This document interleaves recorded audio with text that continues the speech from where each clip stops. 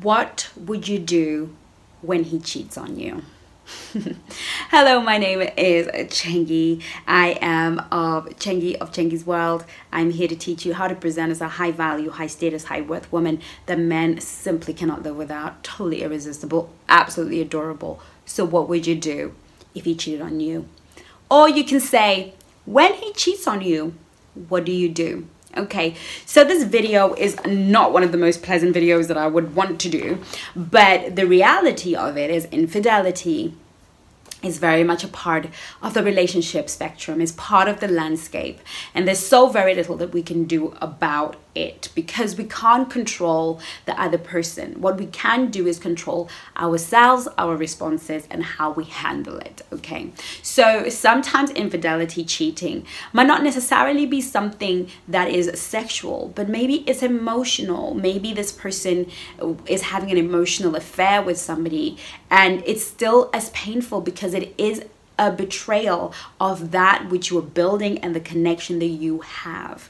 It's very painful. It's horrible. There is no pain in a relationship that is equally as bad as knowing that the person that you have been trusting and investing in and giving your love unconditionally to has not has been sharing it out with other people is let a third party into that which is sacred.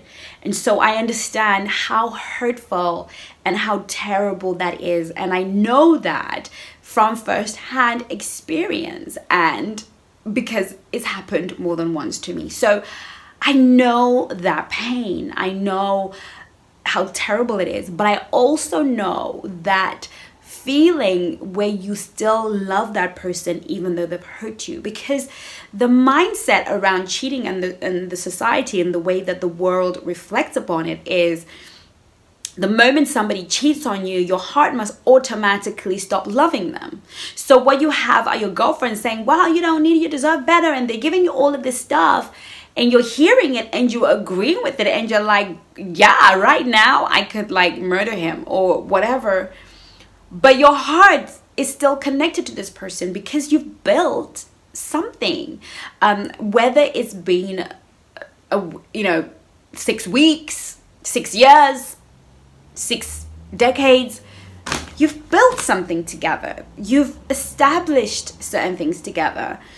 And you have trusted and you have invested. And of course the assumption is to just throw him away. And I'm sorry to have to say it, but I don't believe that ending a relationship is the only way to handle a situation where your partner has been cheating on you.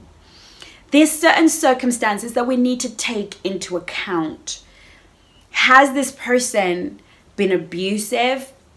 Have they been shagging every single person who will let them shag them in your life? Have they disrespected you? Because there's a different kind where the person has totally completely humiliated you slept with your sisters i know friends who their husbands have slept with their sisters their best friends they've i mean they have just you know and I don't blame that person for, and I'll be the first to say this is not acceptable because this is a blatant disrespect and a lack of love, and this person has become completely and totally abusive towards you.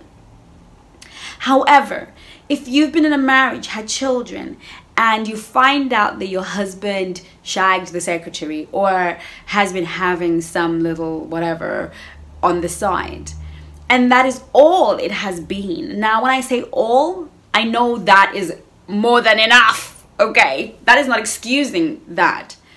But it's about weighing this situation, this instance, this shortcoming of your husband, your partner, your boyfriend, compared to all of what they bring. Because your man is not just a cheater. That's not who they are. They that's not the fullness of who they are they are your provider, your protector, the one that cherishes you, the one that shows up every day, the one that goes to war with you, the one that struggles through hard times with you.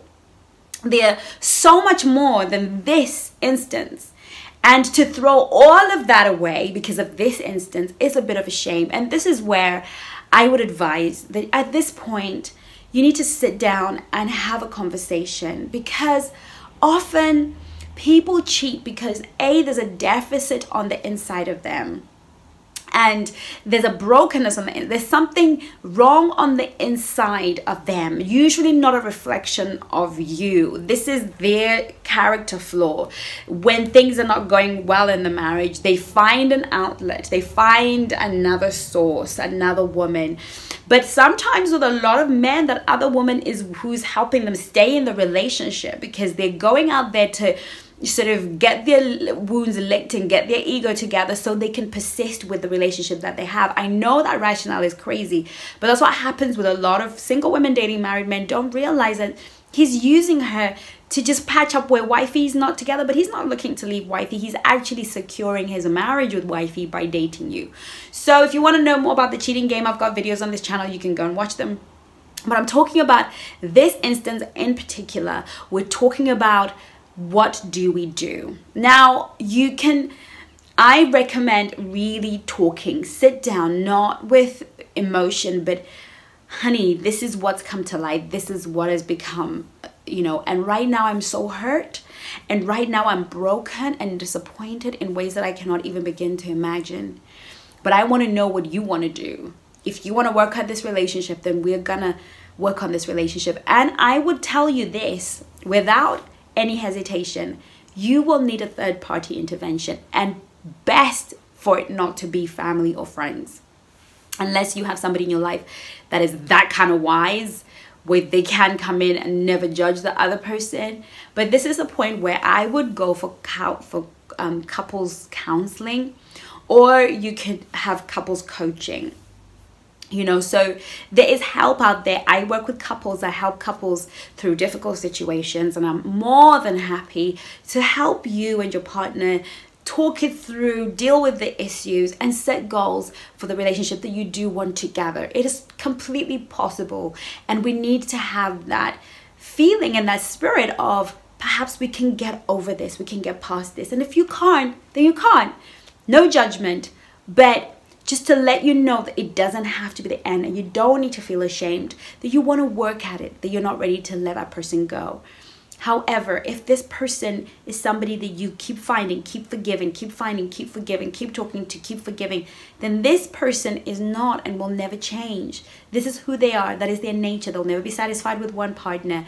So you need to really find the courage within yourself to truly walk away because this is a pattern not an instance not a situation or circumstance that has happened within the context of a lot of relationship investment. I hope this video has been helpful. If you need more information, if you need more help, do contact me via my website and I'll book you in for a session and then we can talk about what it is that I can do to help you and strengthen your relationship. In the meantime, take care of you. I'll see you in my next video. Love you lots.